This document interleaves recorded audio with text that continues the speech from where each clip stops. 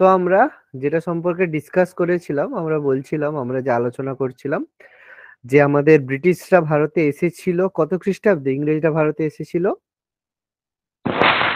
ষোলোশো ষোলোশো। তাহলে ইংরেজরা ভারতে এসেছিল ষোলোশো খ্রিস্টাব্দে ওয়ান সিক্স ডবল জিরো ষোলোশো খ্রিস্টাব্দে ব্রিটিশরা ভারতে এসেছিল। ইস্ট ইন্ডিয়া কোম্পানির হাত ধরে তারা ভারতে এসেছিল। আমরা ডিসকাস করেছি তখন ভারতের মুঘল সম্রাট কে ছিল? আকবরের সময় তাই তো? আকবরের সময় এসেছিল। তারপর আমরা দেখলাম যে সতেরোশো সাতান্নতে কি হয়েছিল? পলাশির যুদ্ধ। পলাশির যুদ্ধ হলো সতেরোশো চৌষট্টিতে। বক্সারে। বক্সারের যুদ্ধ হলো তারপর আমরা সতেরোশো পঁয়ষট্টিতে দেওয়ানি লাভ এগুলো আমরা ডিসকাস করেছিলাম তাই তো? তারপর আমরা দেখলাম ব্রিটিশ ভারতে যে আমাদের যে ক্রাউন রুল শুরু প্রথমে আমাদের কোম্পানি রুল চলছিল? কোম্পানি রুল চলছিল? কোম্পানি রুল এন্ড হলো কবে? কোম্পানি রুল এন্ড আঠেরোশো সাতান্ন আঠেরোশো সাতান্ন সাল। আঠারোশো সাতান্ন। ওই আঠেরোশো আঠান্ন এইটিন ফিফটি এইটে ভারত শাসন আইনের মাধ্যমে এন্ড হলো। আর তারপরে ক্রাউন রুল শুরু হলো কবে? আঠেরোশো আটান্ন থেকে ক্রাউন রুল আমাদের শুরু হয়েছিল। তো এগুলো আমরা ডিসকাস করেছিলাম একটু এগুলো সম্পর্কে। সুচিস্মিতা এবার মনে পড়ছে? এগুলো? হ্যাঁ স্যার। এবার মনে পড়ছে তাই তো? ওকে ওকে ওকে ঠিক আছে। চলো তো আমরা আগের দিন দুটো বড় অ্যাক্ট সম্পর্কে ডিসকাস করেছিলাম। একটা আমাদের হচ্ছে রেগুলেটিং অ্যাক্ট আর সেকেন্ড আমরা ডিসকাস করেছিলাম যে অ্যাক্ট অফ সেটেলমেন্ট আর তারপরে পিটের ভারত শাসন আইন সম্পর্কে আলোচনা আমরা করেছিলাম। আজকে আমরা ডিসকাস করব যে ভারতীয় শাসন ব্যবস্থার মধ্যে যেটা বড় এক ধরনের অ্যাক্ট এসেছিল সেটা হচ্ছে আমাদের চার্টার অ্যাক্ট তো আজকে আমরা শুরু করব যেটা সম্পর্কে, সেটা হচ্ছে চার্টার অ্যাক্ট যেটাকে আমরা বাংলায় কি বলি? সনদ আইন। এটা চার্টার অ্যাক্ট বা সনদ আইন নামে পরিচিত। ওকে চার্টার অ্যাক্ট বা সনদ আইন নামে পরিচিত। তো আমরা চার্টার অ্যাক্ট বা সনদ আইন সম্পর্কে ডিসকাস করব। এই চার্টার অ্যাক্ট বা সনদ আইন, এটা আমাদের ভারতে এরকম কতগুলো চার্টার অ্যাক্ট এসেছিল? কোন কোন সালে আমি আগের দিন বলেছিলাম, যাদের মনে আছে বলো? চারটে। সতেরোশো তিরানব্বই? আঠারোশো তেরো। তেরো প্রথমে সতেরোশো তিরানব্বইতে এসেছিল তারপর এসেছিল আঠেরোশো তেরোতে তারপর এসেছিল আঠেরোশো তেত্রিশ আর সবার শেষে আঠেরোশো তিপ্পান্ন এইটিন ফিফটি থ্রি তো এই চারটে চার্টার অ্যাক্ট কিন্তু ভারতে এসেছিল ঠিক আছে? এবার এদের সম্পর্কে আমাদের কিছু ইনফরমেশন সম্পর্কে আমাদের জানতে হবে। তো অ্যাকচুয়ালি যদি প্রথমেই জানতে চাই যে চার্টার অ্যাক্ট করার উদ্দেশ্য কি ছিল? কেন চার্টার অ্যাক্ট ভারতে এসেছিল? আমরা এক কথায় মনে রাখব চার্টার অ্যাক্ট করার উদ্দেশ্য ছিল ভারতে যে ভারতের শাসন ব্যবস্থার সংস্কারের উদ্দেশ্যে। এই কথাটা লিখে রাখবে। চার্টার অ্যাক্ট করার আসার উদ্দেশ্য ছিল ভারতের যে শাসন ব্যবস্থা যেটা চলছে, সেটাকে সংস্কার করার জন্য রিফর্ম করার জন্য আমাদের চার্টার অ্যাক্ট এসেছিল। এবার এখান থেকে আমাদের কিছু কিছু প্রত্যেকটা চার্টার অ্যাক্টের মধ্যে কি কি হয়েছিল আমরা খুব সংক্ষেপে আলোচনা করব। তো প্রথম যেটা সতেরোশো তিরানব্বইতে চার্টার অ্যাক্ট হয়েছিল, সেখানে কি হয়েছিল? এখানে ইস্ট ইন্ডিয়া কোম্পানিকে ঠিক আছে? ইস্ট ইন্ডিয়া কোম্পানিকে কি করা হলো? বলা হলো যে আরও কুড়ি বছরের জন্য আরও কুড়ি বছরের জন্য অধিকার বাড়ানো হলো। দেখো প্রত্যেকটা চার্টার অ্যাক্টের মধ্যে ডিফারেন্স কত? সতেরোশো তিরানব্বই থেকে আঠেরোশো তেরো টোয়েন্টি ইয়ার্স দেখো প্রত্যেকটা চার্টার অ্যাক্টের মধ্যে ডিফারেন্স ছিল টোয়েন্টি ইয়ার্স এর কুড়ি বছরের ডিফারেন্স ছিল। ওকে তার মানে এখানে কি হলো? কুড়ি বছরের যে অধিকার বৃদ্ধি করা হলো এটা প্রত্যেকটা জায়গাতেই সেম তবে এই জায়গার মধ্যে যেটা উল্লেখযোগ্য কাজ যেটা সতেরোশো চিরানব্বই এ চার্টার অ্যাক্টের মধ্যে কি হয়? কোম্পানি কি হয় যে একচেটিয়া বাণিজ্যের অধিকার যেটা অলরেডি আচ্ছা একচেটিয়া বাণিজ্যের অধিকার কোন অ্যাক্টের মাধ্যমে পেয়েছিল ইস্ট ইন্ডিয়া কোম্পানি বলো আমি বলেছিলাম আগের দিন। ইস্ট ইন্ডিয়া কোম্পানি রেগুলেটিং অ্যাক্টের বলেছিলাম একচেটিয়া বাণিজ্যের অধিকার পেয়েছিল। এটাকে আরও কুড়ি বছরের জন্য এক্সটেন্ড করা হলো ওকে এবং এখানে এখানে কি হলো? বেশি কিছু এখানে করা হয়নি। এখানে সেভেন্টিন নাইনটি থ্রি এর চার্টার অ্যাক্ট খুব বেশি গুরুত্বপূর্ণ নয়। তবে একটা জিনিস সেখানে করা হলো যে, এখানে যে আমাদের যে তিনটা প্রেসিডেন্সি ছিল, কলকাতা প্রেসিডেন্সি বোম্বে প্রেসিডেন্সি আর মাদ্রাজ প্রেসিডেন্সি এই তিনটে প্রেসিডেন্সির মধ্যে আমাদের যে Bombay presidency B O M B A Y Bombay presidency আর মাদ্রাজ প্রেসিডেন্সির ওপরে কি হয়? Governor general. বোম্বে প্রেসিডেন্সি আর মাদ্রাজ প্রেসিডেন্সির ওপর গভর্নর জেনারেল। গভর্নর জেনারেলের নিয়ন্ত্রণ বাড়ানো হলো। নিয়ন্ত্রণ বাড়ানো হলো।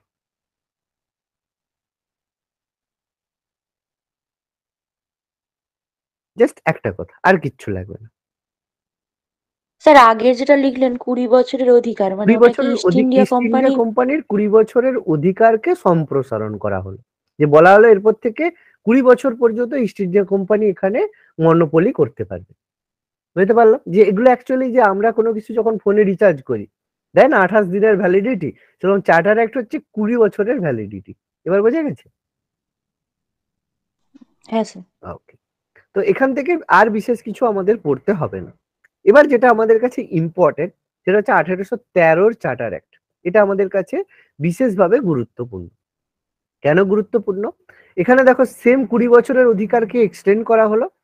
তবে এই জায়গায় কি হলো? প্রথমবার কোম্পানির একচেটিয়া বাণিজ্যের অধিকার লোপ পায়।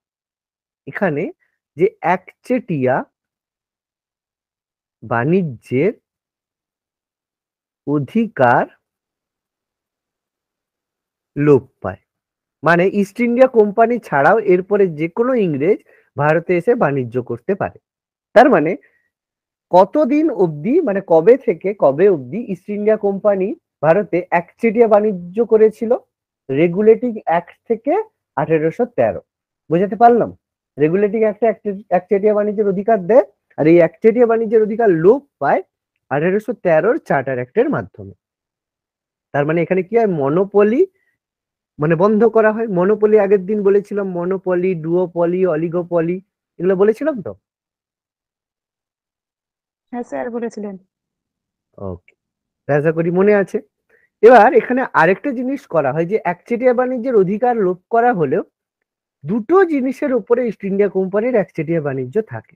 একটা হচ্ছে চীনের সঙ্গে চা ব্যবসা, চীনের সঙ্গে চা এবং আফিম ব্যবসা ছাড়া। আফিম ব্যবসা ব্যতীত। মানে চীনের সঙ্গে যে চা আর আফিমের যে বিজনেস এটাতে একমাত্র ইস্ট ইন্ডিয়া কোম্পানি ছাড়া আর কেউ করতে পারবে না। এই দুটো জায়গার উপরে হোল্ড রেখেছিল যে এই দুটো তোমরা একচেটিয়া বাণিজ্য করবে।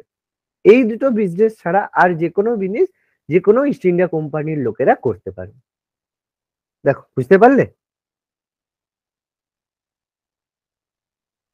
আর এখানে কি হয়? আরেকটা ইম্পর্টেন্ট জিনিস কি হয়? প্রথমবার ভারতে শিক্ষা খাতে ভারতে শিক্ষা খাতে এক লক্ষ টাকা বরাদ্দ করা হয়। যে ভারতে হচ্ছে এডুকেশন পারপাসে এক লক্ষ টাকা বরাদ্দ করা হয়। যে এডুকেশনের জন্য তোমাকে এক লক্ষ টাকা খরচ করতে হবে। স্যার ওই দু নম্বর পয়েন্ট আরেকবার বলবেন আমার মিস গেছে দু নম্বর পয়েন্টটা বলছে যে চীনের সঙ্গে চা এবং আফিম ব্যবসাটা শুধুমাত্র ইস্ট ইন্ডিয়া কোম্পানি একচেটিয়া করতে পারে। বাকি সমস্ত বিজনেস একচেটিয়া অধিকার তাদের লোপ করে দেওয়া হলো। ওকে শুধু চী- চা চীনের সঙ্গে চা আর আফিম বিজনেসটাই ইস্ট ইন্ডিয়া কোম্পানির একচেটিয়া বাণিজ্যের অধিকার থাকল। বাকি সমস্ত ব্যবসার থেকে তাদের একচেটিয়া বাণিজ্যের অধিকারটাকে তুলে নেওয়া হলো। এটাও? বছরের জন্য তো? হ্যাঁ এগুলো এটা আর কুড়ি বছরের জন্য এটা টোটালি এটা টোটালি তুলে নেওয়া হলো। বাণিজ্য করার অধিকার কুড়ি বছর এক্সটেন্ড হচ্ছে কিন্তু যেগুলো একবার তুলে নেওয়া হচ্ছে এগুলো টোটালি তুলে নেওয়া হচ্ছে। মানে প্রতিটা ক্ষেত্রেই মানে কুড়ি বছরের জন্য এক্সটেন্ড হচ্ছে এটা। তাহলে যে বাণিজ্য করতে পারছে মানে দেখো কীরকম ব্যাপার বলতো এই যে ফোনের ভ্যালিডিটি বাড়ছে ঠিক আছে? প্ল্যানটা চেঞ্জ করে দেওয়া হচ্ছে। ব্যাপারটা বুঝতে পারছ? তো যেমন হচ্ছে আগে হচ্ছে দেড় জিবি দিত এখন বলছে এক জিবি করে দেবে। কিন্তু তোমাকে প্ল্যানটা তো দিচ্ছে। কুড়ি বছরের অধিকার মানে ট্রেড করার পারমিশন এবার তার মধ্যে তো রেস্ট্রিকশন সেটা তো তারা দেবেই। এবার বোঝা গেছে? ক্লিয়ার করতে পারছ আশা করি? হ্যাঁ হ্যাঁ ঠিক আছে? আর কি হলো? এখানে সব থেকে যেটা মানে আরেকটা জিনিস করা হলো সেটা কি হলো যে খ্রিস্টান মিশনারিরা খ্রিস্টান মিশনারিরা ভারতে ধর্ম প্রচারের সুযোগ পায়।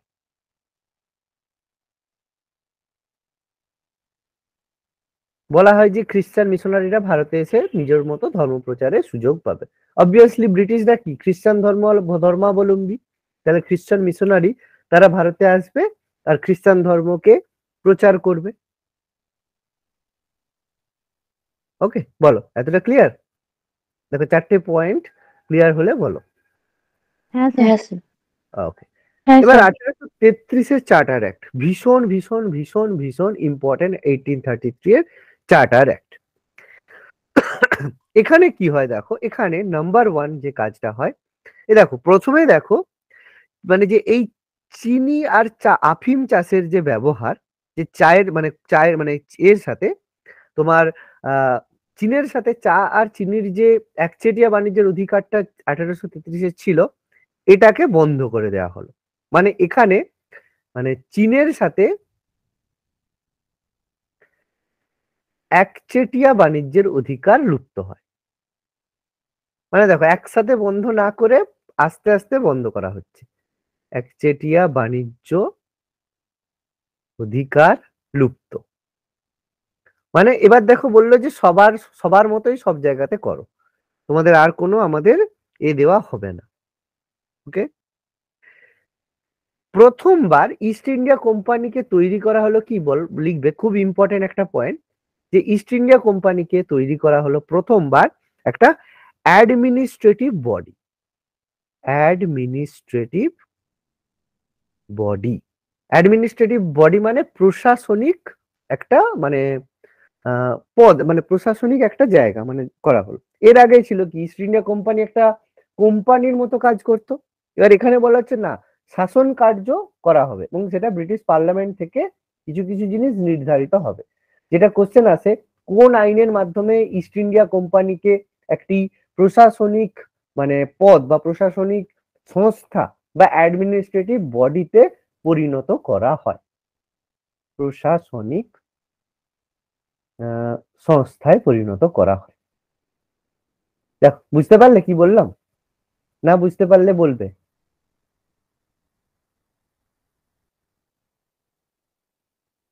ক্লিয়ার হ্যাঁ স্যার ওকে এখানে কি করা হয়? আমরা বলেছিলাম এই অ্যাক্টের মাধ্যমে আমাদের যে গভর্নর জেনারেল বাংলার গভর্নর জেনারেল থেকে ভারতের governor general governor general of Bengal K promote করা হলো governor general of India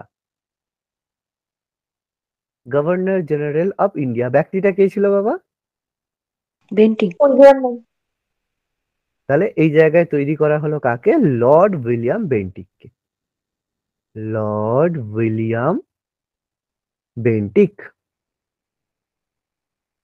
করা হলো। এটা আমরা আগের দিনই এটা আমরা ডিসকাস করে দিয়েছিলাম, বলে দিয়েছিলাম এটা সম্পর্কে। আচ্ছা এখানে কি করা হলো? যে আমাদের প্রথমবার দেখো এবার একটা খুব খুব ইম্পর্টেন্ট জিনিস একটু মাথার মধ্যে খেয়াল রাখবে এর আগে ইস্ট ইন্ডিয়া কোম্পানি যেগুলো বানাতো, বিভিন্ন ধরনের যে আদেশ দেয়া হতো, সেই আদেশগুলোকে ইস্ট ইন্ডিয়া কোম্পানির যে অর্ডার বা যে জিনিসগুলো তারা করত, সেগুলোকে বলা হতো ইস্ট ইন্ডিয়া কোম্পানির রেগুলেশন এখন কি হলো? এটাকে রেগুলেশন না বলে এটাকে বলা হলো অ্যাক্ট তাহলে এখানে লিখে রাখবে যে রেগুলেশন বর্তমানে মানে পরিণত হলো কিসে? অ্যাক্ট রেগুলেশন পরিবর্তিত হলো অ্যাক্টের অ্যাক্টে পরিবর্তিত। দেখো, কি হয়, যখন কোম্পানি একটা কিছু করবে, সেটাকে আমরা বলব রেগুলেশন রুলস অ্যান্ড রেগুলেশন একটা কথা বলে থাকি। অ্যাক্ট কখন হবে? যদি কোনো অ্যাডমিনিস্ট্রেটিভ বডি বা কোনো লেজিসলেচার কোনো কিছু প্রণয়ন করে, তখন তাকে অ্যাক্ট বা নিয়ম বলা হবে। দেখো, বুঝতে পারলে? যে কোন আইনের মাধ্যমে ইস্ট ইন্ডিয়া কোম্পানির রেগুলেশন অ্যাক্টে পরিণত হলো বা আইনে পরিণত হলো।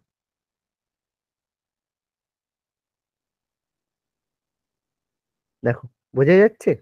বোঝা যাচ্ছে? পয়েন্টগুলো বোঝো পয়েন্টগুলো বোঝো ডাউট হয় জিজ্ঞেস করবে ঠিক আছে? ডাউট ক্লিয়ার করবে একদম। দেখো।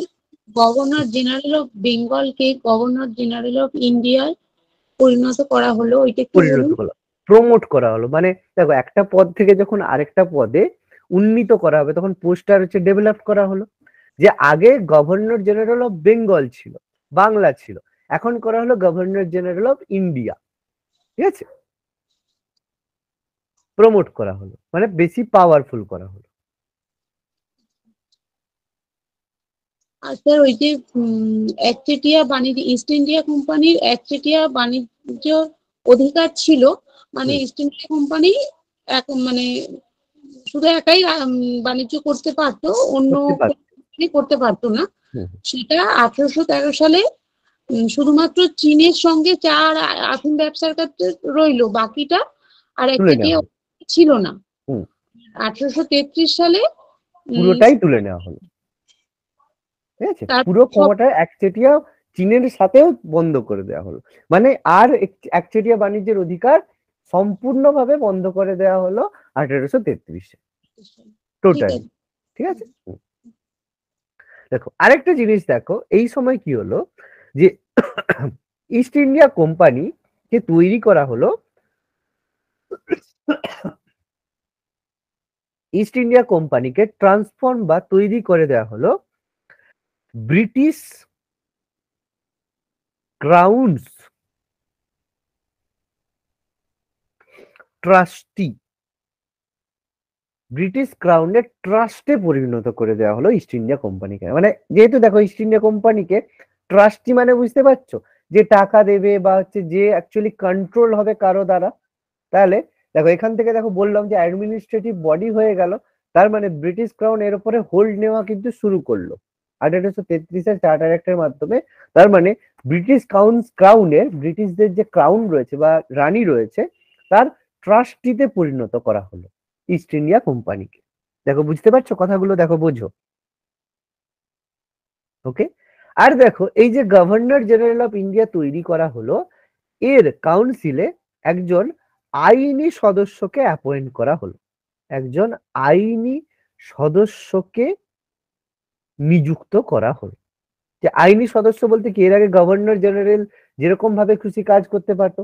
এবার তাকে কি করতে হবে? যেহেতু ব্রিটিশ ক্রাউন রয়েছে তাহলে একজন আইনি সদস্য যে তাকে মানে অ্যাকর্ডিং টু অ্যাক্ট অনুযায়ী কাজ করতে বলবে এবং সেই আইনি সদস্যটা কে হলো?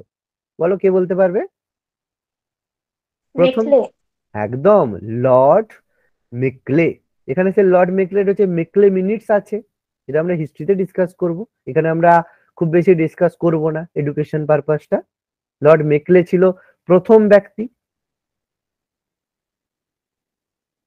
দেখে রাখো, লর্ড মেকলে ছিলেন প্রথম ব্যক্তি আইনি সদস্য। প্রথম ব্যক্তি, গভর্নর জেনারেলের কাউন্সিলের প্রথম ব্যক্তি ছিল লর্ড মেকলে। দেখো, এতটা অবধি বোঝা গেছে প্রত্যেকের, আশা করি?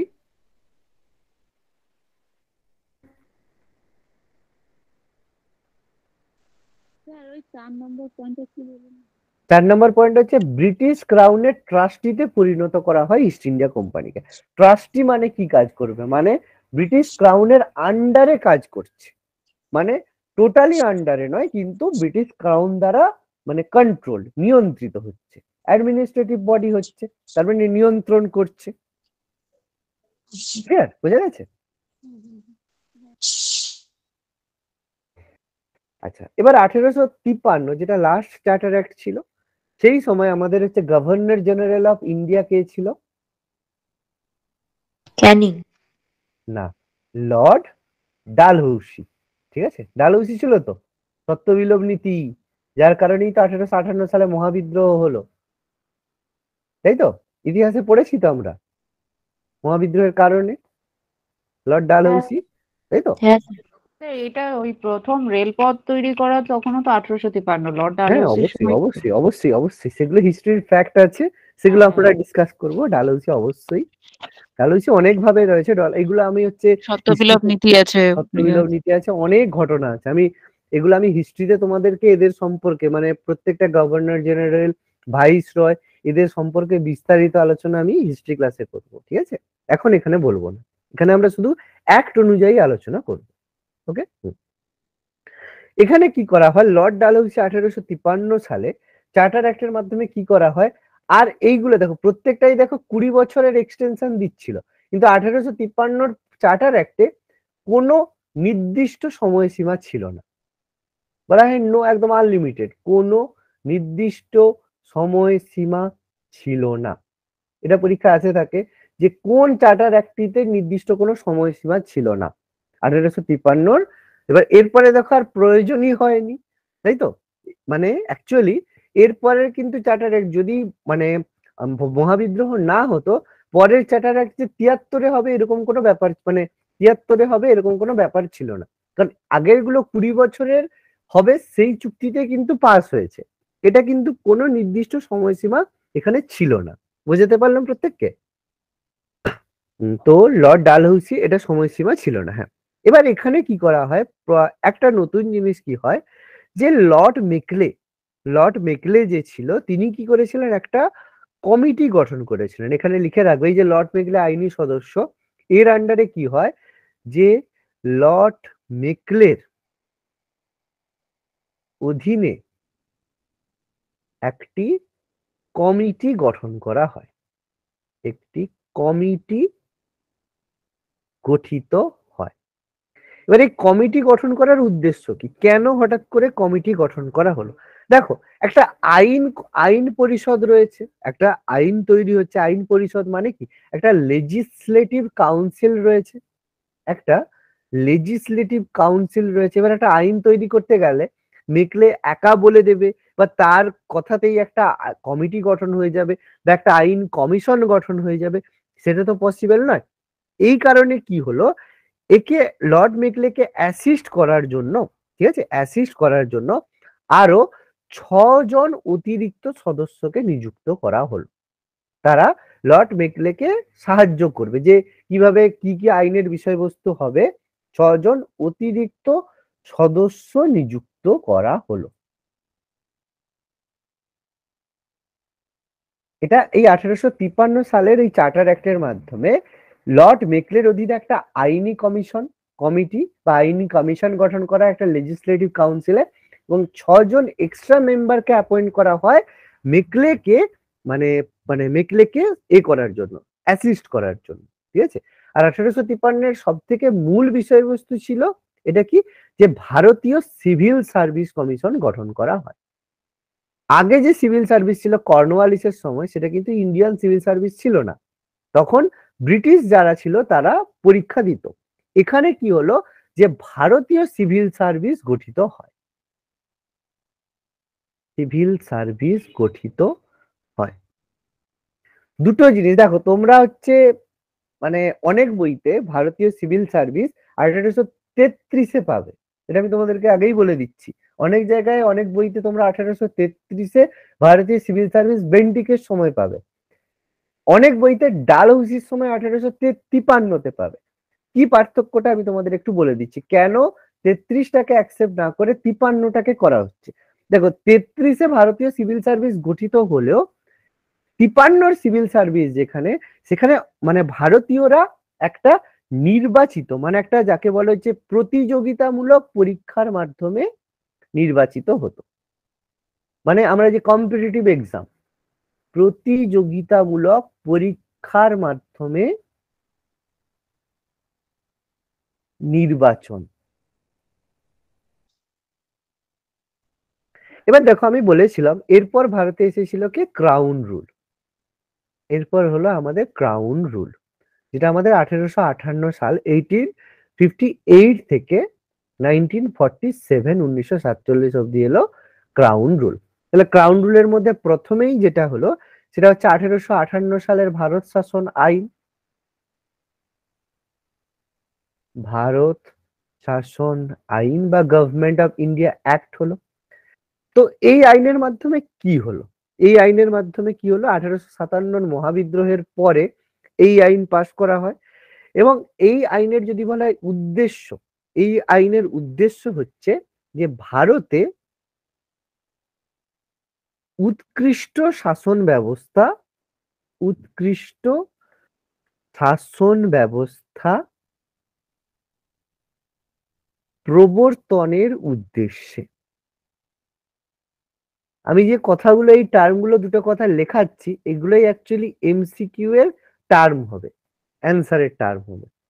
ঠিক আছে? এগুলো অ্যাকচুয়ালি এমসিকিউ এর টার্ম হবে যে এইটা তুলেই কোশ্চেনটা দিবে কোশ্চেন এবং এই সময় যে ব্রিটিশ প্রধানমন্ত্রী কে ছিল? ব্রিটিশ প্রধানমন্ত্রীর নাম ছিল লর্ড পামার স্টোন ঠিক আছে? Lord Palmerston lord Palmerston ছিলেন তখন prime minister, British prime minister. তিনি বললেন যে, না, মহাবিদ্রোহ তো বোঝা গেছে, ইস্ট ইন্ডিয়া কোম্পানি আর শাসন করতে পারছে না। তখন লর্ড পামারস্টোন বললেন কি, আমাদের ভারতে উৎকৃষ্ট শাসন ব্যবস্থা প্রবর্তন করতে হবে। সেই কারণে তার রেকমেন্ডেশনে আঠেরোশো সালে ভারত শাসন আইন পাস করা হয় এবং পাস করে যে ইস্ট ইন্ডিয়া কোম্পানির হাত থেকে ক্ষমতাকে ট্রান্সফার করা হয় সরাসরি ইংল্যান্ডের রানীর হাতে। ক্ষমতা ট্রান্সফার হয় ইংল্যান্ডের রানীর হাতে ক্ষমতা ট্রান্সফার এই জন্য নামটা হয়ে গেছে কি? ক্রাউন রুল হয়ে গেছে। এই জন্য নামটা হয়ে গেছে ক্রাউন রুল আরেকবার বলবেন এটা? হুম। আরেকবার হচ্ছে যে আঠেরোশো সাতান্ন সালে মহাবিদ্রোহের ঘটনার পরে British prime minister lord Palmerston তিনি কি করলেন? ভারতে উৎকৃষ্ট শাসন ব্যবস্থা প্রবর্তনের উদ্দেশ্যে আঠেরোশো আঠান্ন সালে ভারত শাসন আইন পাস করে ইস্ট ইন্ডিয়া কোম্পানির হাত থেকে ক্ষমতা সরাসরি ইংল্যান্ডের রানীর হাতে মানে হস্তান্তরিত করে স্যার, এটা একটু ধীরে ধীরে বলুন না, আমরা লিখি এটা। আচ্ছা লিখে নাও। আমি দেখো পয়েন্টগুলো লিখে দিয়েছি। লাইনটা লেখো যে আঠেরোশো লেখো, লর্ড পামস্টোন, ব্রিটিশ প্রধানমন্ত্রী লর্ড পামস্টোন, ভারতে উৎকৃষ্ট শাসন ব্যবস্থা প্রবর্তনের উদ্দেশ্যে, উৎকৃষ্ট শাসন ব্যবস্থা প্রবর্তনের উদ্দেশ্যে আঠেরোশো আঠান্ন সালে ভারত শাসন আইন পাস করেন।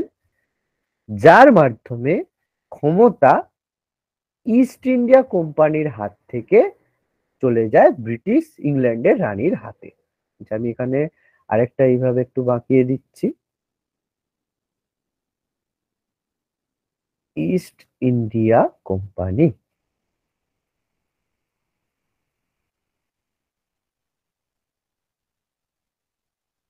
দেখো, ছকটা দেখে বুঝতে পারছ তো? ছকটা দেখে বোঝা যাচ্ছে না?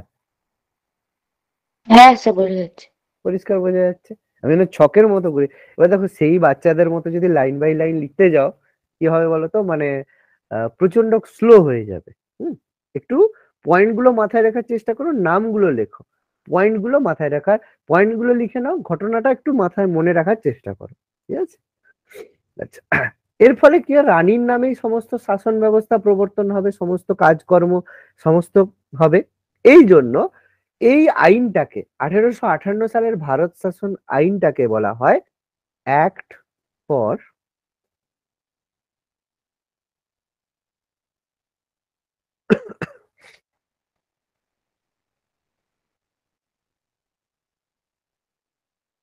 act for good government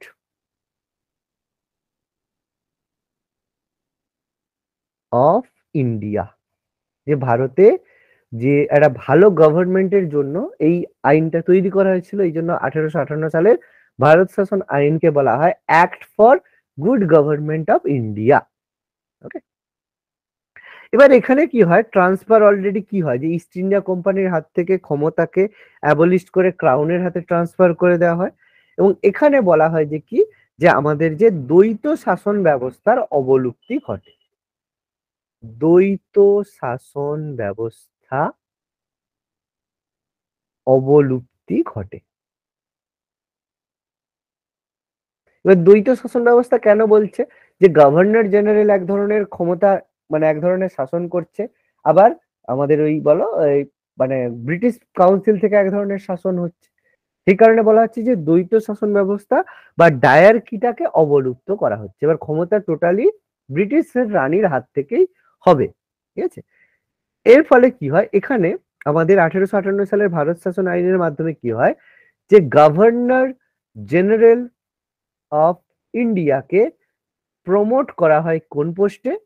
Promoted to vice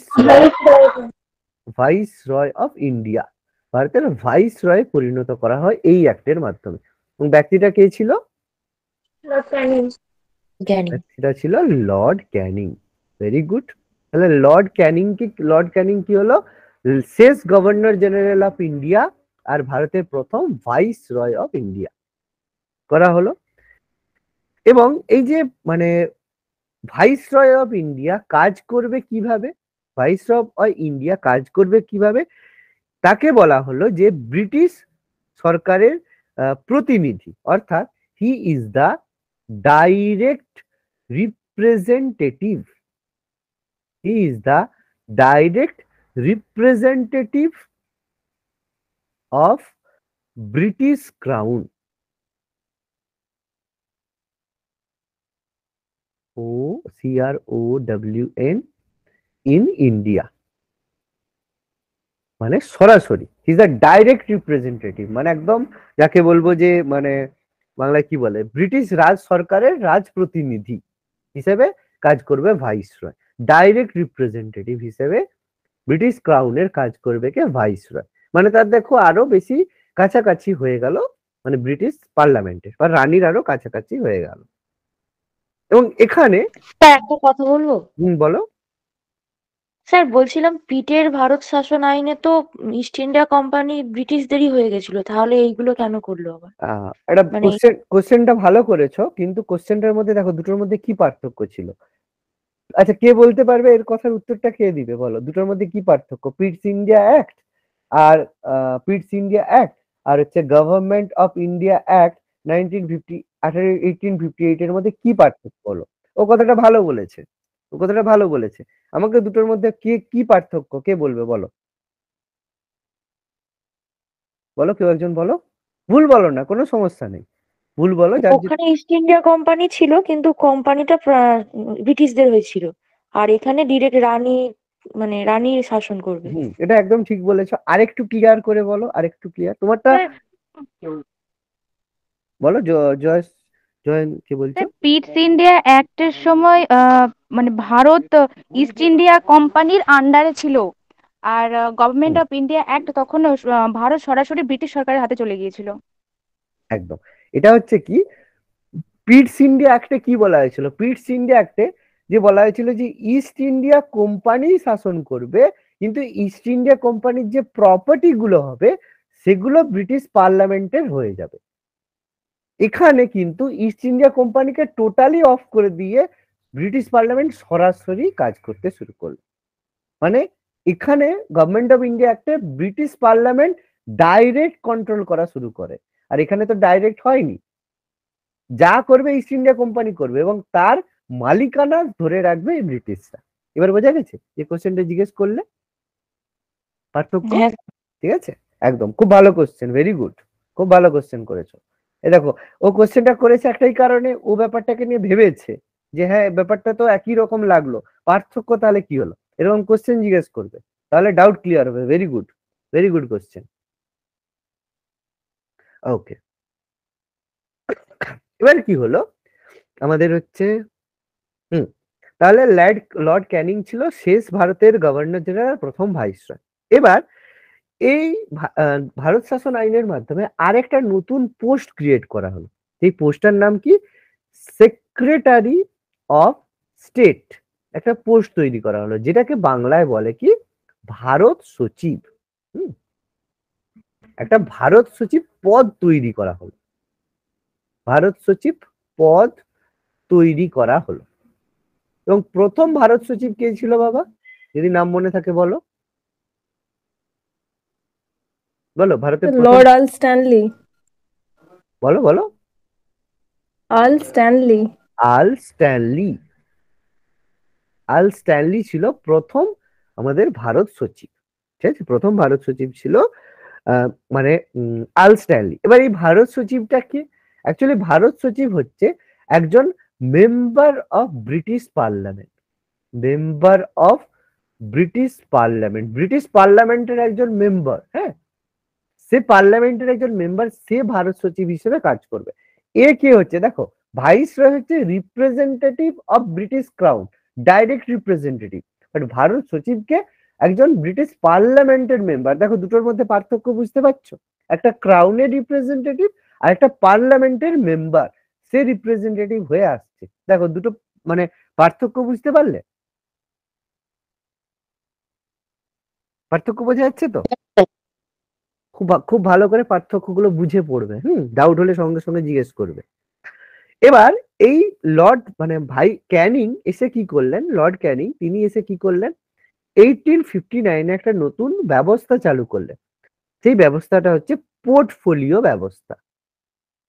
portfolio system চালু করলেন। পোর্টফোলিও সিস্টেম কি, প্রিয়াঙ্কা? ডিপার্টমেন্ট অনুযায়ী পোস্টটাকে ভাগ করে দেওয়া ছিল হ্যাঁ এই তো মনে আছে ভেরি গুড তাহলে পোর্টফোলিও সিস্টেমটা হচ্ছে যে ডিপার্টমেন্ট ওয়াইজ দপ্তর ভাগ, ঠিক আছে? ডিপার্টমেন্ট ওয়াইজ ডিপার্টমেন্ট অনুযায়ী দপ্তর ভাগ। মানে এখন দেখো, আমাদের যে অর্থমন্ত্রী রয়েছে, সে অর্থ সংক্রান্ত ব্যাপার দেখাশোনা করবে, যে ডিফেন্স মিনিস্টার সে ডিফেন্স সংক্রান্ত দেখবে। আগে এরকম ব্যাপার হতো না। আগে যে আছে সে সমস্ত কাজই টুকটাক দেখতো। আলাদা করে কোনো ভাগ ছিল না যে তুমি এটা দেখবে, তুমি এটা দেখবে, এরকম কিন্তু ছিল না। প্রথম ক্যানিং এসে কি করল? পোর্টফোলিও সিস্টেম মানে আমাদের কি হয়? যে ভোটের পরে একজন আলাদা ফাইন্যান্স মিনিস্টার আলাদা ডিফেন্স মিনিস্টার আলাদা হচ্ছে আমাদের এডুকেশন মিনিস্টার হয়ে থাকে। এই রকম সিস্টেমটা প্রথম লর্ড ক্যানিং এইটিন ফিফটি নাইনে এই অ্যাক্টের মাধ্যমে চালু করেছিল। ওকে এবার এই সময় এই অ্যাক্টের মাধ্যমে তৈরি করা হয় কি? একটা পনেরো জন সদস্যের একটা পনেরো জন সদস্যের একটা অ্যাডভাইজারি কমিটি গঠন করা হয়। অ্যাডভাইজারি অ্যাডভাইজারি কমিটি বলতে কি? বাংলায় কি বলবে অ্যাডভাইজারি কমিটিকে উপদেষ্টা কমিটি মানে যারা উপদেশ দেবে। হ্যাঁ বলা হয় উপদেষ্টা পর্ষদ। মানে উপদেশ দেবে। যে ভারত সচিবকে, এবার কাকে উপদেশ দেবে? অ্যাডভাইজারি কমিটি কার জন্য? ভারত সচিবের জন্য হ্যাঁ? ভারত সচিবকে উপদেশ দেওয়ার জন্য অ্যাডভাইজারি কমিটি গঠন করা হবে। সেক্রেটারি অফ স্টেট বা ভারত সচিবকে সাহায্যের জন্য অ্যাডভাইজারি কমিটি গঠন করা হবে। আর এই ভারত সচিব কে হবে? এই অ্যাডভাইজারি কমিটির চেয়ারম্যান হবে। ভারত সচিব হবে কি? অ্যাডভাইজারি কমিটির চেয়ারম্যান হবে। সেই তো হেড হবে, তাই তো? নেক্সট দেখো, এরপরে কি হলো? ভারতে কি হলো? ভারতে বিভিন্ন কাউন্সিল আইন ভারতে এলো। ভারতে এলো বিভিন্ন কাউন্সিল আইন। কাউন্সিল আইন যেটাকে বাংলায় আমরা বলব কি? পরিষদ আইন। কাউন্সিল আইন বা পরিষদ আইন হলো। এবার পরিষদ আইন ভারতে কতগুলো হয়েছিল? প্রথমটা হয়েছিল এইটিন সিক্সটি ওয়ান তারপরেরটা কবে বলো? মনে আছে থাকলে বলো। Eighteen ninety two eighteen ninety two আর লাস্ট নাইনটিন জিরো নাইন মানে বা উনিশশো নয়। উনিশশো নয়। তিনটে কাউন্সিল অ্যাক্ট হচ্ছে আমাদের হয়েছিল। ভেরি গুড একদম। তো প্রথম কাউন্সিল অ্যাক্ট যেটা আঠেরোশো এবারে কাউন্সিল অ্যাক্ট গঠনের উদ্দেশ্য কি ছিল বলো? লিখে রাখবে। প্রিয়াঙ্কা কি লিখেছিলাম? একটা লাইন? বিচার ব্যবস্থার সংস্কার করা। বিচার ব্যবস্থা ছিল বাবা। বিচার ব্যবস্থা নয় গো কাউন্সিলে বিচার ব্যবস্থা হয় হ্যাঁ ভারতে প্রশাসনিক কাঠামোর সংস্কারের উদ্দেশ্যে ঠিক আছে? সংস্কারের উদ্দেশ্যে। ভারতে প্রশাসনিক কাঠামোর সংস্কারের উদ্দেশ্যে করা হয়েছিল কাউন্সিল অ্যাক্ট পরিষদ আইন। তো প্রথম যেটা আঠেরোশো একষট্টি সালের যে কাউন্সিল একটা করা হলো, এর উদ্দেশ্য ছিল যে নাম্বার ওয়ান খুব ইম্পর্টেন্ট উদ্দেশ্য ছিল কি? ক্ষমতাকে বিকেন্দ্রীকরণ করা। বিকেন্দ্রীকরণের প্রবণতা। বিকেন্দ্রীকরণ যেটাকে বলা হয় ডিসেন্ট্রালাইজেশন এবার সেন্ট্রালাইজেশন আর ডিসেন্ট্রালাইজেশনের মধ্যে কি পার্থক্য বা জিনিসটা কি? বলো কে বলবে বলো? সরকারের হাতে থাকবে? সরকারের হাতের বাইরে থাকবে সরকারের হাতের বাইরে থাকবে? বাবা একটু ভুল হচ্ছে। প্রিয়াঙ্কা বলো। কনসেপ্ট স্যার বিকেন্দ্রীকরণ মানে অনেক অনেকগুলো অনেকগুলো মানে জনগণের কাছে যেমন কেন্দ্রীকরণের ক্ষেত্রে যেমন সরকার মানে মনো, কি বলব, মনোপলি ক্ষমতা যেরকমই করে যে সরকারি যা বলবে তাই কিন্তু বিকেন্দ্রীকরণে ক্ষমতাটা ভাগ করে দেওয়া থাকবে প্রত্যেকটা স্টেপ বাই স্টেপে বলেছ ঠিকঠাক আচ্ছা আমি বলে দিচ্ছি দেখো। আগে কি হতো সেন্ট্রালাইজের ক্ষেত্রে যেমন এম্পায়ার হতো, রাজা আছে কিং আছে কিং যা বলবে, সমস্ত রিজিয়নে সেই কাজগুলোই হবে। তাহলে ক্ষমতা কি সেন্টারের মধ্যে রয়েছে? ডিসেন্ট্রালাইজেশন কি? একজন রাজা তো থাকবেই। রাজা কি করেছে? বিভিন্ন প্রদেশ বা প্রভিন্স ভাগ করে দিয়েছে। সেই প্রভিন্সের মধ্যে আলাদা আলাদা করে রাজা বা গভর্নর থাকবে। যেটা আমাদের রাজ্যের ক্ষেত্রে বলো। কেন্দ্রীয় সরকার রয়েছে। রাজ্য সরকারের হাতেও তো পাওয়ার রয়েছে। মমতার হাতেও তো পাওয়ার রয়েছে। মোদির হাতেও পাওয়ার রয়েছে। অর্থাৎ ক্ষমতা কি হয়েছে? ভাগ হয়ে গেছে। ভাগ হয়ে যাওয়াকে বলা হয় ডিসেন্ট্রালাইজেশন আর ক্ষমতা যদি এক জায়গায় থাকে সেটা হচ্ছে সেন্ট্রালাইজেশন এবার বোঝা গেছে কি বললাম? দুটো পিকচারের মধ্যে পার্থক্য বুঝতে পারলে। ঠিক আছে? হ্যাঁ স্যার। এবার দেখো এখানে কি হয়? যে যেহেতু এই সময় কি হয়? যে ডিসেন্ট্রালাইজেশন বিকেন্দ্রীকরণের প্রবণতা দেখা যায়। যে আস্তে আস্তে ক্ষমতা কি করা হয়? মানে ক্ষমতাকে ডিসেন্ট্রালাইজ করার চেষ্টা করা হয়। এই জন্য কি করা হয় যে প্রথমবার এখানে একটা পাওয়ার দেওয়া হয় যে ভাইস রয়ের হাতে ভাইস রয়ের হাতে অর্ডিন্যান্স জারি করার ক্ষমতা দেওয়া হয়। অর্ডিন্যান্স জারি করার ক্ষমতা দেওয়া হয়। এবার অর্ডিন্যান্স জিনিসটা কি? অর্ডিন্যান্স মনে আছে? হ্যাঁ স্যার ওই পার্লামেন্টের সেশন যখন অফ থাকবে তখন কোনো বিল উত্থাপন করতে পারবে। ওটা যে ক্ষমতা। হ্যাঁ, এখানে দেখো অর্ডিন্যান্স ব্যাপারটা কি? আগে কি হতো? এই সময় অ্যাক্ট কি হতো? যে কোনো একটা আইন তৈরি করার প্রয়োজন হয়েছে। তাহলে সেই আইনটা ভাইসরয় বা যে যারা রয়েছে যারা আইনি পরিষদ রয়েছে তারা সেই আইনটা নিয়ে ব্রিটিশ পার্লামেন্টে যাবে। ব্রিটিশ পার্লামেন্ট মানে ইংল্যান্ডে যাবে। ইংল্যান্ডে সেটা আলোচনা হয়ে অ্যাক্ট তৈরি হবে। আবার সেটা জাহাজে করে ভাইসরয়ের কাছে আসবে। তাহলে এতদিন, এটার জন্য দীর্ঘদিন একটা সময় লাগবে। অর্থাৎ সেই কাজটা, সেই আইনটা তৈরি করতে দীর্ঘদিন সময় লাগে। এবার অর্ডিন্যান্স হচ্ছে সেই জিনিসটা, যেটা কোনো একটা আইন তৈরি করার প্রয়োজন হলে ভাইসরয় সেটাকে সরাসরি চালু করে দেবে। চালু করে দেওয়ার পরে সেটা ব্রিটিশ পার্লামেন্টের কাছে অ্যাপ্রুভের জন্য যাবে। এবার ব্রিটিশ পার্লামেন্ট যদি এটাকে অ্যাপ্রুভ করে ইয়েস বলে, তখন সেটা কার্যকরী অবস্থায় থাকবে। আর যদি নো বলে, সেটা সঙ্গে সঙ্গে বন্ধ হয়ে যাবে। ব্যাপারটা বোঝা গেছে? সেটা হচ্ছে অ্যাকচুয়ালি অর্ডিন্যান্স মানে মানে স্যার এইটাই হচ্ছে ওই বলো একজন একজন বলো। স্যার বলছি যে এইটাই অ্যাকচুয়ালি ওই ডিসেন্ট্রালাইজেশন মানে যে ক্রাউন পুরোপুরি হাতে না। নিয়ে না না না না না, এটার সঙ্গে ডিসেন্ট্রালাইজেশনের সম্পর্ক নয়। ডিসেন্ট্রালাইজেশনে ক্ষমতাটা ভারতের মধ্যে বিভিন্ন। প্রেসিডেন্সিতে ভাগ করে দেওয়া হলো। কিন্তু আইনটা তো তৈরি হয়েছে ইংল্যান্ড থেকে। হ্যাঁ। স্যার এই যে প্রথম যে ডিসেন্ট্রালাইজেশন কেন হচ্ছে বাবা?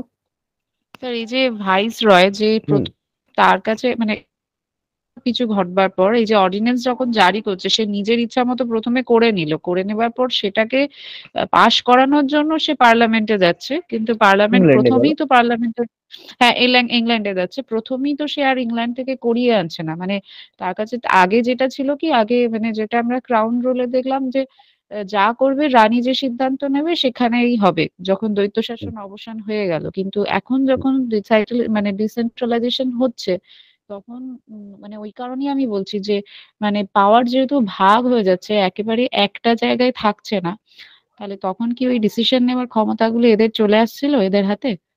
তুমি তুমি গুলিয়ে গেছো। তুমি দুটোর মধ্যে গুলিয়ে গেছো। আমি একটু একে বুঝিয়ে দিচ্ছি। তুমি ডিসেন্ট্রালাইজেশন আচ্ছা, অর্ডিন্যান্স তোমার মাথার মধ্যে পুরো সেই মিক্সি যেরকম হয়ে যায় না সেরকম গুলিয়ে গেছে ঠিক আছে? আমি তোমাকে দুটো পার্থক্য বলছি একটু ভালো করে শুনো তারপরে বুঝবে হ্যাঁ? দেখো। এটা হচ্ছে ইংল্যান্ড ঠিক আছে? এটা হচ্ছে ইংল্যান্ড প্রত্যেকে ভালো করে দেখো এটা হচ্ছে ইংল্যান্ড। এখানে রয়েছে কি? ক্রাউন রয়েছে বা রানী রয়েছে ঠিক আছে?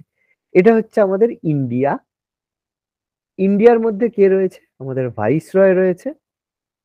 এবং ভাইস রয়ের আন্ডারে যে বিভিন্ন এই যে প্রভিন্স যেগুলো রয়েছে এই যে আমাদের বোম্বে প্রভিন্স কলকাতা প্রভিন্স বিভিন্ন প্রভিন্স রয়েছে।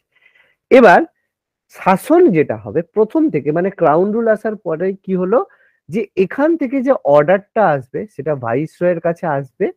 ভাইস রয় সেই অর্ডার অনুযায়ী বিভিন্ন প্রভিন্সে সে অর্ডারগুলো দেবে। এখানে প্রভিন্সের কোন রকমের বক্তব্য প্রথমে ছিল না।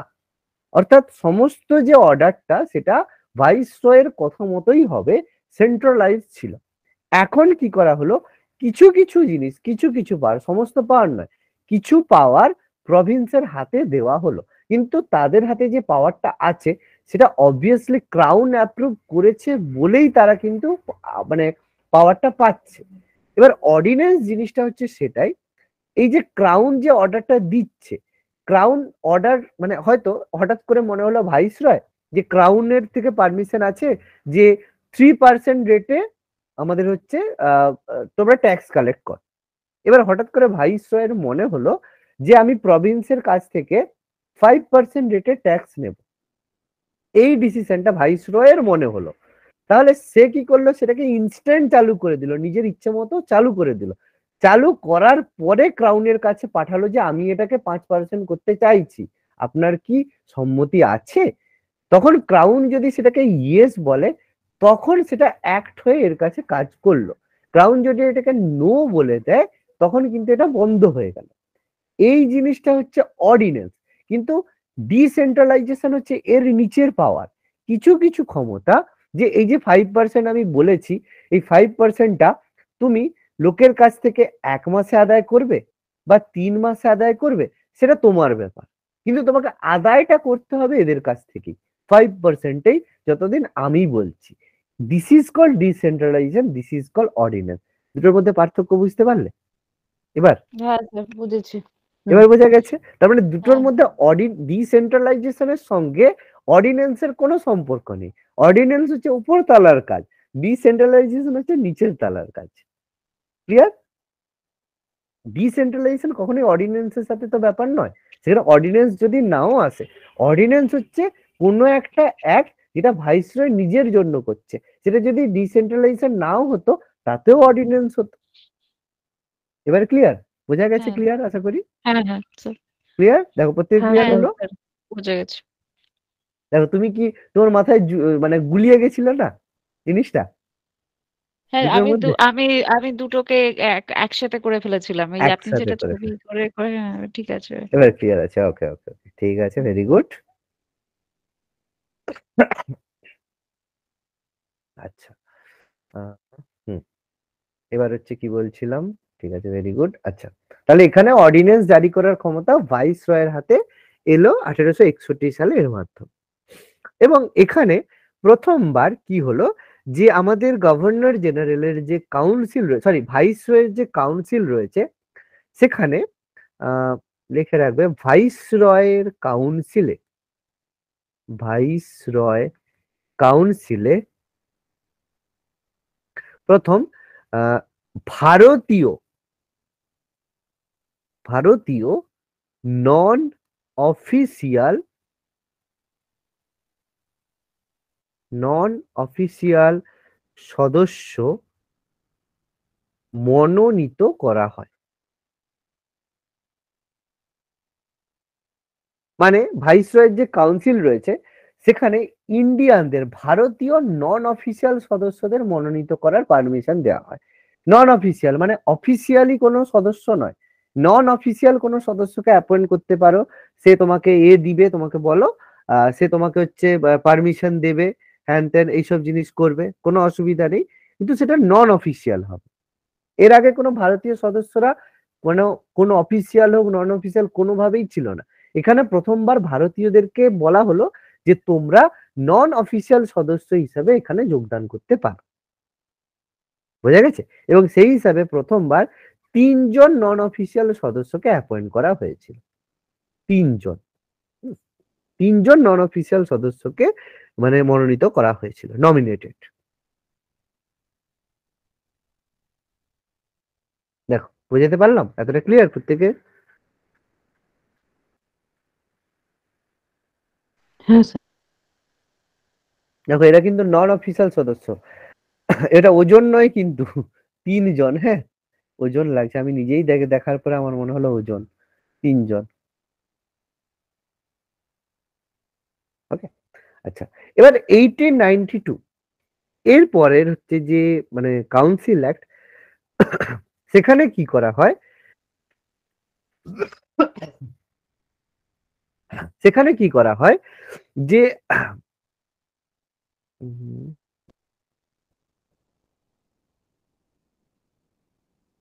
আচ্ছা এখানে কি করা হয়? এখানে একটা ছোট্ট কাজ এখানে করা হয়েছিল।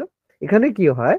যে আইন পরিষদ যেটা রয়েছে, যে আইন পরিষদ যেটা রয়েছে, যেটা এই যে মেকলে যেটা তৈরি করেছিল, আইন পরিষদ বা লেজিসলেটিভ কাউন্সিল যেটা রয়েছে এলসি যেটা রয়েছে লেজিসলেটিভ কাউন্সিল এরা কি করতে পারে? এরা বাজেট পর্যালোচনা করার ক্ষমতা পায়। বাজেট পর্যালোচনা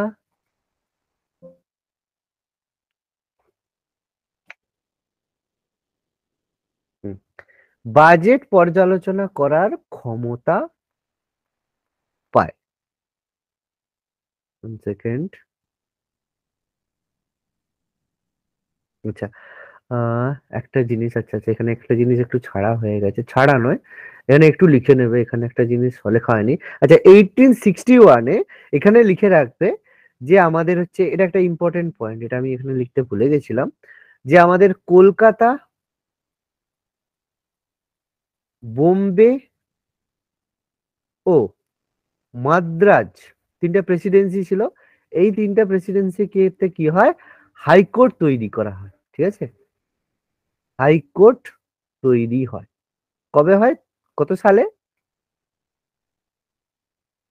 এইটিন সিক্সটি টু ঠিক আছে? প্রথম হাইকোর্ট কিন্তু কলকাতা হাইকোর্ট ঠিক আছে? কলকাতা হাইকোর্ট। এটা ইম্পর্টেন্ট হ্যাঁ? কলকাতা বোম্বে ও মাদ্রাজে হাইকোর্ট তৈরি করার ক্ষমতা দেওয়া হয়। একই সালে স্যার। একই সালে এইটিন সিক্সটি ওয়ানে এইটিন সিক্সটি টুতে হ্যাঁ। কলকাতা প্রথমে তারপর বোম্বে তারপরে মাদ্রাজ। তিনটে প্রেসিডেন্সিতে হাইকোর্ট তৈরি করে এটা ছাড়া হয়ে গেছিল ভুলে গেছিলাম ওটা বলতে।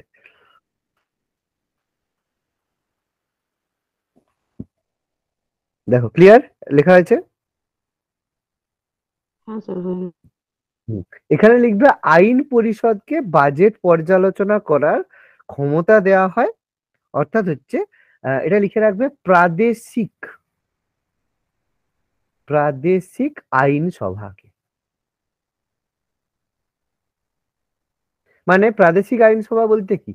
এটা হচ্ছে কেন্দ্র, সেন্ট্রাল রয়েছে, আর বিভিন্ন প্রদেশ বা প্রভিন্স রয়েছে। এই প্রভিন্সের যে আইন পরিষদ রয়েছে, তারা কি করে? নিজের নিজের প্রভিন্সে বাজেট পর্যালোচনা করতে পারে। বাজেট মানে বুঝতে পারছি বাজেট বুঝি একটু? কম বেশি? বাজেট মানে কি খরচা খরচ খরচা পরের বছর হবে সেটাকে আমরা বাজেট বলে থাকি। ঘরে আমরা বাজেট বাজেট বলি বা বিভিন্ন আমাদের বাজেট হয়ে থাকে সরকার বাজেট পেশ করে থাকে। কোন মাসে বাজেট পেশ হয়? ফেব্রুয়ারি মাসে এপ্রিল। এপ্রিল? এপ্রিলে বাজেট পেশ হয় বাবা প্রিয়াঙ্কা? এতদিন পরে? জুন মাসে। জুন মাসে। আচ্ছা আমার জন্মদিনে আচ্ছা ঠিক আছে। স্যার ফেব্রুয়ারি হবে শুনেছি। ফেব্রুয়ারিতেই তো হবে বাবা। এপ্রিল থেকে তো ফাইন্যান্সিয়াল ইয়ার শুরু হয়। এপ্রিল থেকে ফাইন্যান্সিয়াল ইয়ার শুরু হয়। বাজেট পেশ হয়। প্রিয়াঙ্কা? হ্যাঁ স্যার আমি এটা ভেবেই বলে দিলাম। এ বাবা এরা গন্ডগোল। মার্চ নয় বাবা ফেব্রুয়ারি আগে ফেব্রুয়ারির লাস্ট দিনে হতো এখন ফেব্রুয়ারির ফার্স্ট উইকে হয়। ঠিক আছে? সব গড়বড় করে দিচ্ছ গো। যাই হোক যারা নতুন তাদের ক্ষেত্রে অসুবিধা নেই তারা আস্তে আস্তে জানবে কিন্তু পুরনো যারা তাদের ভুল বলাটা খুব গন্ডগোল ঠিক আছে? আচ্ছা যাই হোক আচ্ছা আবার শেখানো হবে কি আছে অসুবিধা নেই শিখবে ভুল করতে করতেই শিখবে। আচ্ছা ঠিক আছে। উনিশশো নয়ের যে কাউন্সিল অ্যাক্ট এটার একটা বিশেষ নাম আছে। কি নাম আছে? পার্লামেন্ট আইন সংস্কার। মরলে মিন্টো সংস্কার আইন। হুম? কারণ তখন আমাদের যে ভাইস রয় ছিল, তার নাম ছিল লর্ড মিন্টো। লর্ড মিন্টো ছিল তখন ভাইস রয় আছে আচ্ছা আমি একটা, এখানে একটা অফ দ্য টপিক কোশ্চেন করছি। যে আমাদের যে বঙ্গভঙ্গ হয়েছিল, হুম? বঙ্গভঙ্গর সময় ভারতের ভাইস রয় কে ছিল?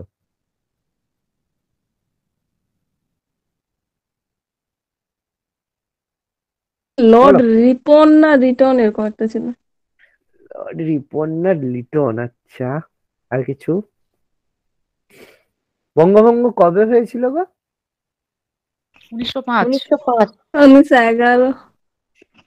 উনিশশো পাঁচ। স্যার লর্ড কার্জন দেখো প্রিয়াঙ্কা তোমার না মাথা গুলিয়ে গেছে সব গুলিয়ে গেছে। সব গুলিয়ে গেছে। এগুলো আমি হ্যাঁ, বলেছিলাম গুলিয়ে গেছে গুলিয়ে গেছে একটু বেশি পড়ে মাথা গুলিয়ে গেছে সব গুলিয়ে গেছে। আচ্ছা ঠিক আছে। দেখো বঙ্গভঙ্গ ঘোষিত হয়েছিল উনিশশো পাঁচে রদ করা হয়েছিল উনিশশো এগারোতে ঠিক আছে? আমি অফ দ্য টপিক একটু ডিসকাস করে দিচ্ছি মনে রাখো। যখন বঙ্গভঙ্গ উনিশশো পাঁচে ঘোষণা করা হয় তখন ছিল লর্ড কার্জন ঠিক আছে? কিন্তু যখন বঙ্গভঙ্গ কার্যকরী করা হয়, তখন লর্ড কার্জন চলে গিয়েছিল, তার জায়গায় এসে গিয়েছিল লর্ড মিন্টো, ঠিক আছে? লর্ড মিন্টো কিন্তু হয়েছিল। তার মানে বঙ্গভঙ্গ কার্যকরী করার সময় গভর্নর ভাইস রয়েছিল মিন্টো, ঘোষণার সময় ছিল কার্জন। আর এগারোতে যখন রদ করা হয়, তখন কে ছিল? লর্ড হার্ডিচ টু, দ্বিতীয় লর্ড হার্ডিচ। মনে থাকবে? এই যেখানে মিন্টোকে দেখে মনে পড়ল। এটা প্রত্যেকে ভুল করে দেয়। কারণ যখন বঙ্গভঙ্গ ঘোষিত হয় জুলাই মাসে তখন জুলাই মাসে তো ঘোষণা করা ঘোষিত হয়েছিল? কোন কবে বঙ্গভঙ্গ ঘোষিত হয়? কার জন্য কবে বলছিল বঙ্গভঙ্গ হবে? ডেট হ্যাঁ জুলাই হবে। So, তারপরে তো আগস্টে ওই রাখি হলো। হ্যাঁ। তারপর যখন রাখি বন্ধনটা হলো সেটা অক্টোবরে তখন হচ্ছে লর্ড মিন্টো চলে এসেছিল। হ্যাঁ, ঠিক আছে? হ্যাঁ। এটা মনে রাখবে। এই কথাটা আমার এক্ষুনি একবার মনে করিয়ে দিলাম পরে আমি পড়াতে গিয়ে বলব বাট এই কথাটা মনে রাখবে ঠিক আছে? আর যখন উনিশশো এগারোতে বন্ধ করা হয় তখন হচ্ছে লর্ড হার্ডিচ টু ছিল। আচ্ছা কেন উনিশশো এগারোতে বন্ধ করা হয়েছিল গো? উনিশশো এগারোতে আর কি হয়েছিল? যে কারণে বন্ধ হয়? হয়। হ্যাঁ বাহ বাহ। ক্যাপিটাল ট্রান্সফার কোথায় হয়েছিল বাবা? Capital transfer? কলকাতা থেকে দিল্লি। হ্যাঁ কলকাতা থেকে দিল্লি দিল্লি দরবার বসেছিল। মনে পড়ছে? যাই হোক সব ভুলে গেছো অনেকে। ঠিক আছে অসুবিধা নেই বাট মনে রাখতে হবে হুম। যাই হোক তো এই উনিশশো উনিশ বলো কি বলছো? স্যার ওই লর্ড হার্ডিঞ্জের কথা বলে না কি ছিলেন? ভাইস রয় ছিল। মিন্টোর পরে? ভাইসরয় তো আর লর্ড মিন্টো? ছিল লর্ড মিন্টোর পরে হার্ডিচ পরে, টু এসেছিল। ঠিক আছে? লিস্ট আছে আচ্ছা আচ্ছা হ্যাঁ। আচ্ছা এই উনিশশো নয়ের যে মরলেমিন্টো অ্যাক্ট ছিল উনিশশো নয়ের যে মরলেমিন্টো অ্যাক্ট ছিল এখানে কি করা হলো? এই এই জিনিসটাকে বলা হয় এখানে দুটো জিনিস বড় কাজ করা হয়েছিল। এখানে কি হয়? যে প্রথমবার করা হয় কি? সাম্প্রদায়িক নির্বাচন করা হয়। সাম্প্রদায়িক নির্বাচন করা হয়। এবং প্রথমবার কি করা হয় বলেছিলাম?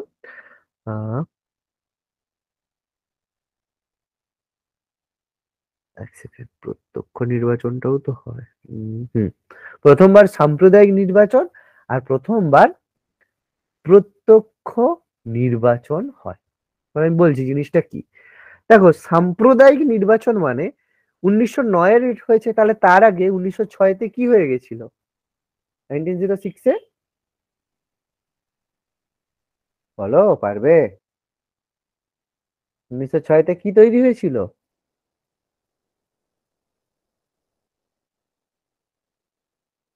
মুসলিম লীগ। মনে পড়েছে? যাই হোক উনিশশো ছয়তে মুসলিম লীগ হয়ে গেছে। তার মানে হিন্দু মুসলিম চাইবে আলাদা আলাদা সেপারেট ইলেকশন তাহলে লর্ড মিন্টো বলল, ঠিক আছে, হাম দেঙ্গে, আপ লোগো সেপারেট ইলেকশন দেঙ্গে। সেটাই হচ্ছে সাম্প্রদায়িক নির্বাচন। এবং লর্ড মিন্টো প্রথমবার হিন্দু মুসলিমদের জন্য আলাদা নির্বাচন ব্যবস্থার কথা ঘোষণা করেছিল।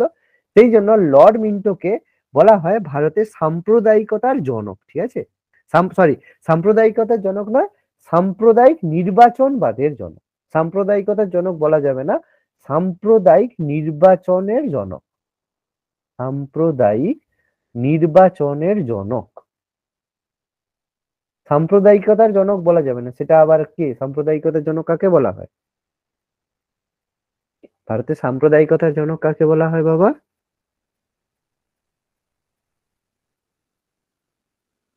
তিনি আর কেউ নয়, সৈয়দ আহমেদ খান। ঠিক আছে? নাম শুনেছি? সৈয়দ আহমেদ খান? শুনেছি না হ্যাঁ, শুনিনি বল? কোন আন্দোলনের সাথে যুক্ত ছিল? কোন আন্দোলনের সাথে যুক্ত ছিল?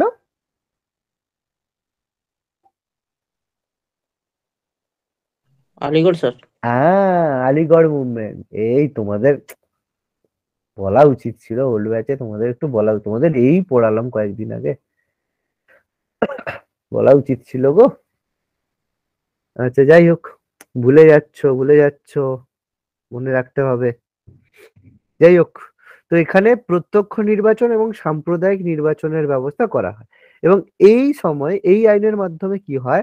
প্রথম, ভাইস রয়ের কার্যনির্বাহী কমিটিতে, ভাইস রয়ের কার্যনির্বাহী কমিটিতে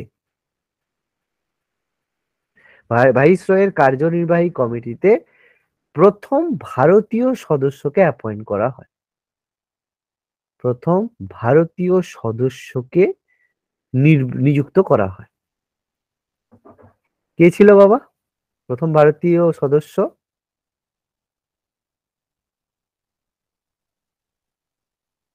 পারবে?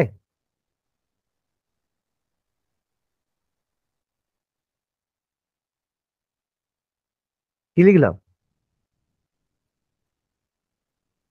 সত্যেন্দ্র প্রসাদ সত্যেন্দ্র প্রসাদ সিনহা যাকে বলা হয় ভারতের প্রথম ভারতীয় গভর্নর হ্যাঁ? এবং এই পোস্টটাকে বলা হতো গভর্নর। প্রথম ভারতীয় সদস্য বা প্রথম ভারতীয় গভর্নর হ্যাঁ? বলা হয়ে থাকে সত্যেন্দ্র প্রসাদ সিনহাকে। আচ্ছা এবার লাস্ট লিখে নেবে উনিশশো উনিশ সালের ভারত শাসন আইন। ভারত শাসন আইন। পরের দিন আমি সাইমন কমিশন থেকে বাকিটা পুরো ইন্টারিম গভর্নমেন্ট অব্দি বাকি পুরোটা কমপ্লিট করে দেবো লাস্ট পরের দিন। আচ্ছা উনিশশো সালে ভারত শাসন আইন যেটা কি হয়েছিল? আমাদের পরিচিত ছিল Montagu Montagu Chelmsford Montagu Chelmsford Montagu Chelmsford সংস্কার নামে পরিচিত ছিল। এখানে দেখো কাজের কাজের মধ্যে কি হয়েছিল এখানে? এটা কেন অনেকটা রিলেটেড রয়েছে? মন্টেগু ছিল সেই সময় আমাদের ভারত সচিব। আর তখন আমাদের গভর্নর জেনারেল ছিল ভাইস রয় ছিল ভাইস রয় ছিল লর্ড চেমসফোর্ড হ্যাঁ? তো এদের দুজনের মিলিত হয়ে আমাদের হয়েছিল। এবার এখানে কি হয়? কাজের মধ্যে খুব খুব খুব ইম্পর্টেন্ট জিনিস, আমাদের কি হয়? কেন্দ্রে সেন্ট্রালে দ্বিকক্ষ বিশিষ্ট সংসদ করা হয়। দ্বিকক্ষ বিশিষ্ট আইনসভা, বিশিষ্ট আইনসভা গঠন করে। আমাদের যেমন দ্বিকক্ষ বিশিষ্ট আইনসভা রয়েছে, লোকসভা, রাজ্যসভা। এখানে কিন্তু লোকসভা, রাজ্যসভা ছিল না, দুটো নাম ছিল। একটা ছিল কেন্দ্রীয় আইনসভা কেন্দ্রীয় আইনসভা। আরেকটা ছিল রাজ্য পরিষদ। কেন্দ্রীয় আইনসভা আর ছিল রাজ্য পরিষদ। কেন্দ্রীয় আইনসভাকে বলা হতো সেন্ট্রাল লেজিস লেজিসলেটিভ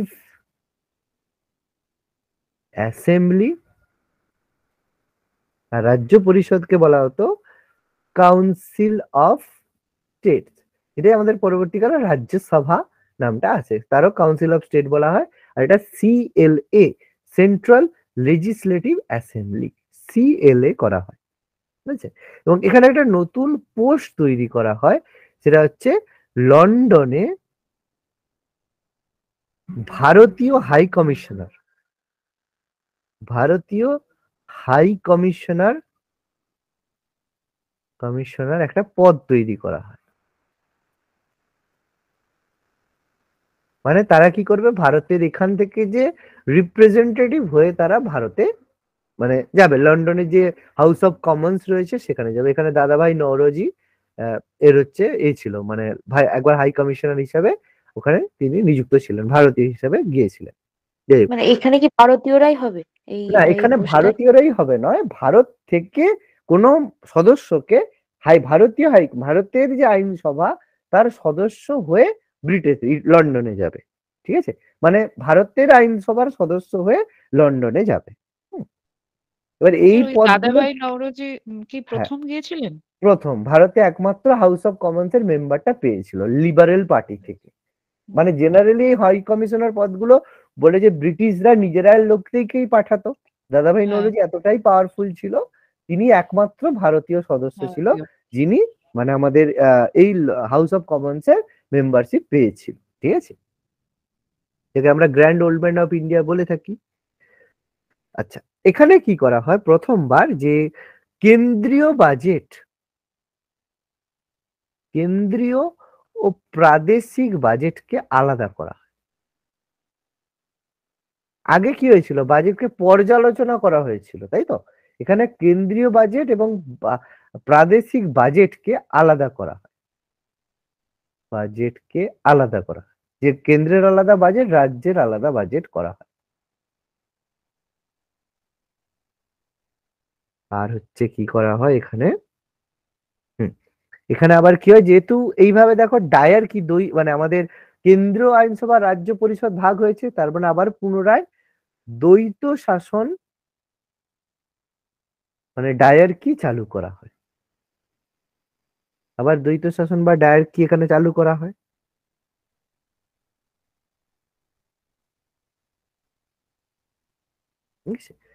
ব্যাস, এটা করলেই আমাদের হবে। এবং এখানে একটা কথা বলা হয় যে, আরেকটা ছোট্ট কথা যে বলা হয় প্রতি কুড়ি বছর অন্তর, সেই চার্টার অ্যাক্টের মতো, প্রতি কুড়ি বছর অন্তর ভারত শাসন আইনকে মানে এ করা হবে, যে সংশোধন করা হবে।